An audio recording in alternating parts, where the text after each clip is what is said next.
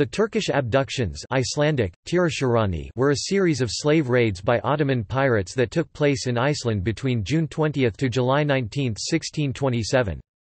Pirates from Morocco and Algeria, under the command of Dutch pirate Murat Reis, raided the village of Grindavík on the southwestern coast, Berufjörður and Breiðdalur in the eastern region the East Fjords, and Vestmannaeyjar islands off the south coast. They captured an estimated 400 to 800 prisoners to sell into slavery.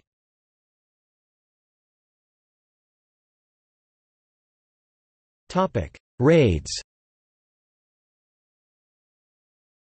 In 1627 Barbary corsairs from Algiers and Salé descended on Iceland in two separate raids, taking around 400 to 900 prisoners Iceland's population at the time has been estimated to have been about 60,000. This event is popularly known in Iceland as Tyrkjaránið the Turkish raid, as it was launched from areas under Ottoman sovereignty, although no North African Turks are known to have been involved. Most pirates were Arabs and Berbers, a large part, the Dutch and other Europeans, who converted to Islam. Four ships attacked the eastern and southern coast as well as the Vestmannaeyjar Westman Islands. Ten years later 27 captives made it back to Iceland, a few had come home earlier.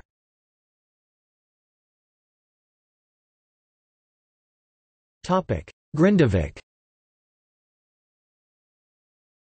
The leader of one of the raids was January Janszoon, also known as Murat Reis the Younger, a Dutch pirate who operated from Salé.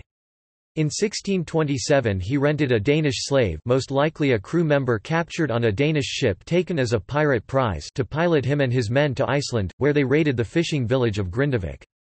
Their takings were meagre, some salted fish and a few hides, but most importantly they captured twelve Icelanders and three Danes, whom they could sell as slaves. As they were leaving Grindavík, they managed to trick and capture a Danish merchant ship by flying a false flag.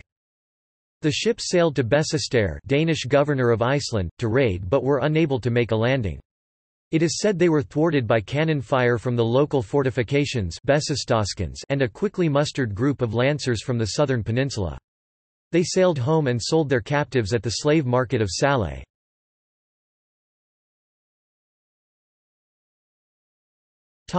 Eastern region The second group of raiders came to Hvalnes in southeastern Iceland on July 4 and raided the fjords north of there for a week, capturing livestock, silver and other goods, in addition to 110 Icelanders. They captured a Danish merchant ship and sank it. North of Fáskrúðsfjörður, they hit strong winds and decided to turn around and sail along the south coast of Iceland. Around that time, another pirate ship joined them, and they also captured an English fishing vessel.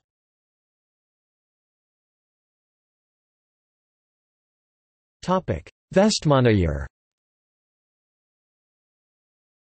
As there were no harbors or landing sites along the south coast, the three ships eventually came on July 16 to Vestmannaeyjar, a group of islands off the coast, where there was a fishing village of the same name. They raided the village and the home island for three days, capturing 234 people and killing 34, including one of the ministers of the island. The other minister, Olafur Egilsson, was initially enslaved by the pirates and brought to Algiers. He was sent back to Copenhagen to plead for ransom funds from the King of Denmark to redeem his Icelandic subjects still in Algiers. Those offering resistance were killed, as were some of the old and infirm people. On July 19 the ships left Vestmannaeyjar and sailed back to Algiers. Olafur later wrote a detailed account of his experience, one of a number of captivity narratives published in these years. It was translated and published in English in 2008.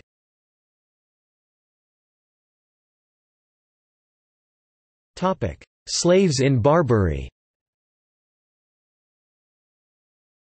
Those captured were sold into slavery on the Barbary coast. All Icelandic accounts agree the number of captives was below 400. French nobleman Emanuel d'Aranda says in his book, Relation de la captivité et la liberté du Sieur 1666, about his time as a slave of the Barbary pirate Ali Bitchin, that an Icelandic fellow captive in Algiers told him 800 people had been enslaved. That number does not agree with any Icelandic sources. A few letters written by captives reached Iceland. Together with other accounts, they indicate that the captives were treated very differently according to their masters. Guttormur Hallsson, a captive from eastern region, said in a letter written in Barbary in 1631, "...there is a great difference here between masters.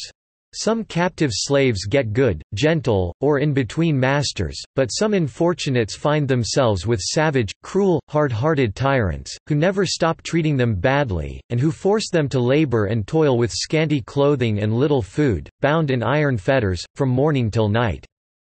The most notable captive was Guðríður Símonardóttir.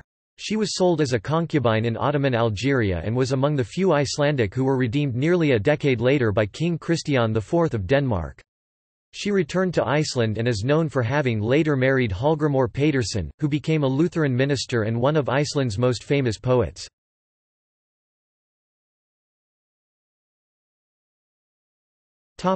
See also